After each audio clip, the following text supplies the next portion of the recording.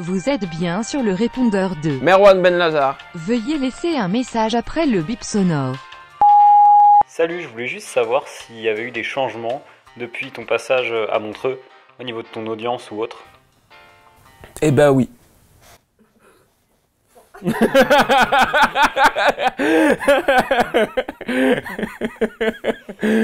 On va au bout de la blague, hein, question suivante. non, en vrai, euh, euh, après le Montreux, donc à partir du moment où la vidéo Montreux elle est sortie, euh, elle est sortie en janvier. Je crois qu'entre janvier et mai, on a été complet une trentaine de fois.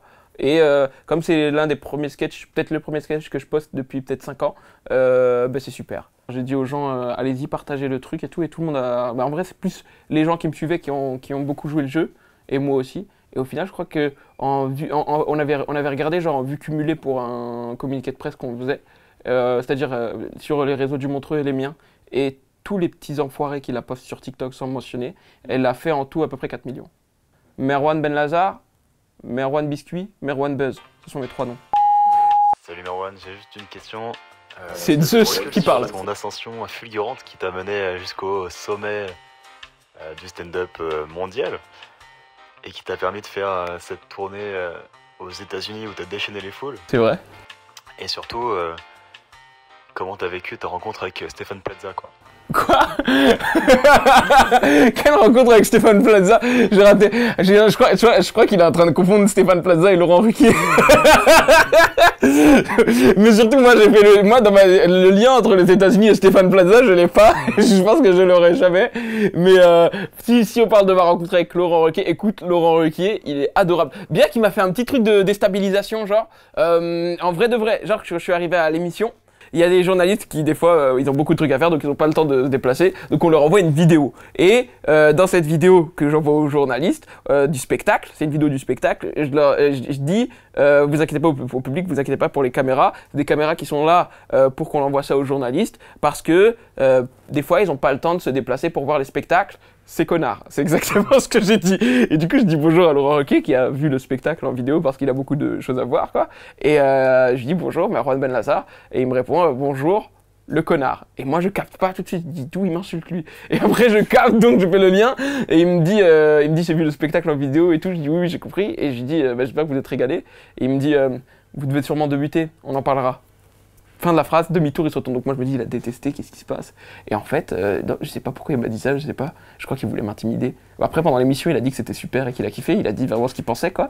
Mais au début, il m'a dit ça. Et euh, purée, il s'est bien vengé parce que j'ai passé toute l'émission à attendre mon tour comme ça, quoi. je jure, il parlait à des Franck Dubosc, à des machins et tout. Il disait c'est super, c'est super. Et j'étais moi, j'étais en conseil de classe, quoi. Ben, ça va bientôt être mon tour pour l'avertissement conduite. c'était pas bien. C'était pour savoir, j'ai déjà emmené deux dates voir ton spectacle et ça a jamais abouti dans les deux cas. Alors je voulais savoir, est-ce qu'il faut que j'arrête de venir voir ton spectacle ou est-ce que je date les mauvaises personnes vraiment? Bah écoute, c'est fou cette absence de remise en question. Enfin, je veux dire, à aucun moment c'est elle le problème dans l'histoire. Frère, j'ai emmené deux dates. Est-ce que c'est les dates le problème ou est-ce que c'est ton spectacle? Frère, bah, euh, euh, je suis désolé ma gourmande, hein, mais c'est toi. hein. Je suis vraiment désolé, mais peut-être que le problème il vient de toi. c'est peut-être horrible ce que je dis, hein, mais euh, peut-être date pas des gens, peut-être. Essaye de pas dater des gens pendant un petit moment, et euh, mais continue à vendre euh, mes places de spectacle. Ça, ça, j'adore par contre. Merci beaucoup. hein. Salut Merwan, c'était juste pour savoir par rapport au sketch des vieilles dames dans l'immeuble, c'était une histoire vraie ou t'avais écrit ça parce que t'avais plus d'inspi? Donc moi je suis un mytho en fait. C'est ça en fait. que- euh, ouais, gros, t'es un gros mytho ou pas? T'es un gros mytho ou pas? Non non c'est vrai c'est vrai. Mes voisines elles ont. Euh... Ouais enfin, c'est une voisine en particulier qui a vraiment euh, paniqué. Mais mais oui oui même euh, tout est vrai même euh, les, les, les- les- les- ce que je dis par rapport à ce que ma famille me disait un petit peu les petites remarques et tout c'est vrai c'est vrai. Je profite de la scène pour un peu. euh, vous êtes un peu ma thérapie. Vous êtes un peu comme des psychologues sauf que c'est vous qui payez quoi. Donc c'est encore mieux. Euh, ouais, Merwan, t'as pas 10 balles. C'est juste pour dépanner, genre truc comme ça et tout. Parce que tu sais, moi, moi, je le connais depuis euh, peut-être 10 ans, tu vois. Bon, j'exagère un petit peu, mais en vrai, 10 ans, tu vois. Donc au bout d'un moment, faut, faut fidéliser les, euh, les abonnés. Donc moi, je me dis, peut-être 10 balles, tu vois, ça fidéliserait plus. Et je te suivrai encore plus, tu vois ce que je veux dire. En plus, ça, je suis sûr, au moment où tu lis ça, t'as 10 balles, tu vois. Justement, sur cette vi- vidéo, on fait gagner 10 euros de place pour le prochain festival de Montreux. C'est euh, ben, le, le commentaire le plus rigolo qui gagne un bon d'achat de 10 euros. Sachant que les places, elles sont à combien? 90. Vous aurez que, francs suisses, donc vous aurez que genre 80 balles à payer au lieu de 90. C'est le Merwan Discount. Salut, bah en fait je voulais savoir euh, comment il a eu envie de faire ce métier. Je peux te dire tu peut-être. Euh, Est-ce qu'il y a des gens autour de toi qui en font euh, Voilà, d'où est venue euh, l'envie de te lancer là-dedans? Oui, j'ai voulu faire du stand-up parce que euh, j'avais bah, tout simplement, en fait, on faisait un atelier de stand-up au collège et notre prof de théâtre, en tout cas cours d'impro théâtral un petit peu, c'était Kairon. Donc euh, qui était à l'époque dans la troupe du Jamel Comedy Club. Et de là on, s'est donné à fond euh, pour le théâtre d'impro. Et nous de base notre objectif c'était de faire du stand-up. Et du coup quand j'ai commencé à faire du stand-up on était quatre. Il y avait Gaël il y avait Mohamed et il y avait Amine qui est devenu maintenant un célèbre Twitcher Amine Mathieu et on faisait du stand-up tous les quatre en même temps Amine envoie des sous. Pour le coup, si vous voulez des sous, c'est Amine qu'il faut demander. c'est encore un autre conseil. Mais euh, l'argent, il est là-bas. hein. Tout l'argent. Tout, tout, tout, tout, tout. Tout l'argent, c'est Amine qui l'a. Bonjour, Yann de Paris. Euh, salut Merwan, quand tu participes à un festival, je voulais savoir, est-ce que tu choisis ton passage très longtemps à l'avance et tu le calibres en le testant euh, en comédie club Ou au contraire, est-ce que tu le choisis seulement quelques jours avant et du coup, euh, bah, je peux pas récupérer ton texte, quoi. Voilà. Ça, c'est Yann. Mais je veux savoir juste Yann de Paris avec les oiseaux derrière. Nous prend-il pour des truffes? Allez-y, entrez, je vous en prie. Bonjour. Je dérange Merwan Euh, Comment ça va Non, je voulais juste déranger Merwan. Mais toi, de toute façon, toi, c'est que ça. De toute façon, toi, t'adores déranger les gens. Dès qu'il y, a- dès qu'il y a de la lumière sur quelqu'un, t'en veux un petit peu, Ouais, toi. De toute façon, t'es comme ça. Hein. Comment ça va. C'est Ilyes Jadel. Faites attention, dès qu'il y a un petit peu de lumière sur quelqu'un, il en veut sa partie. Je suis C'est là comme pour ça. la prendre. Bah attends, il y a- Voilà. est-ce que t'as envoyé ton texte T'as envoyé ton texte Voilà. non mais toi tu l'as envoyé J'ai pas encore envoyé mon texte. T'as pas encore envoyé ton texte Non, j'ai pas encore. On joue quand ce soir. Donc non mais ça me rassure de savoir que je suis pas le seul. T'as pas encore envoyé ton texte Quoi je, je réfléchis encore. Je réfléchis encore.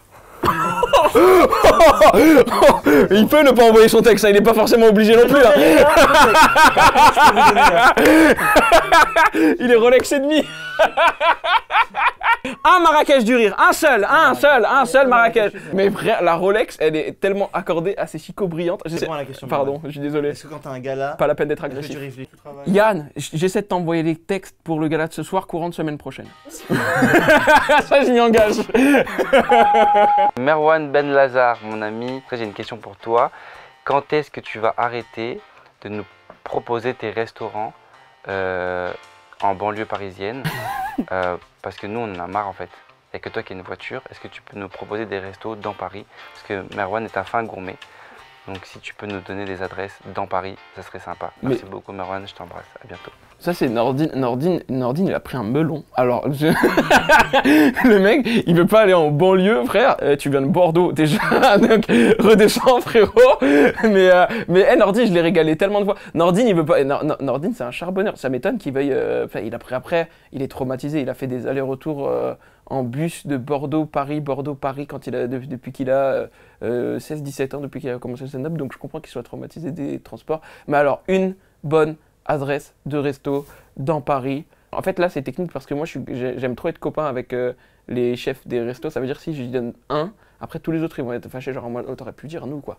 Et du coup, euh, je ne saurais que vous conseiller le 129 à Saint-Denis dans le 93. C'est un kebab exceptionnel. Et euh, si vous y allez, prenez le chicken rouge avec le fromage. Franchement, vous allez vous régaler. Franchement, ouais, j'ai amené avec moi euh, Lucas V. Et Lucas V, pour ceux qui connaissent, c'est celui qui fait euh, les instrus de D6 et tout. Et je l'ai emmené, Lucas V, il a fait des études de cuisine.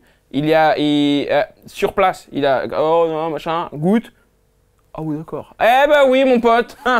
Les gens, ils ont capté que j'étais un bon vivant, je crois. Le stand-up, ils en ont rien à foutre. Il y en a un, il demande des virements. L'autre a dit, euh, j'amène qui comme gars à, mon, à ton spectacle? Euh, Eh ben, vous avez compris l'ambiance. Oui, oui, c'est rigolo, c'est tout ça. Mais c'est surtout la qualité de vie. C'est ça qu'on vise. Et ben c'était le répondeur de Merwan Ben Lazar. Je vous fais des bisous. Et euh, à la meuf là, euh, euh, j'ai eu ma prod au téléphone. Peut-être retente avec 4-5 dates de les amener à mon spectacle et je pense que ça peut péter. Au cas au cinquième, si 5 ça marche pas, reviens une sixième fois avec une autre personne. Ça fera 12 places de vendues et puis ben, tu, voilà, ça fera des nouveaux t-shirts achetés pour Merwan Ben Lazar. Celui-là dégueu.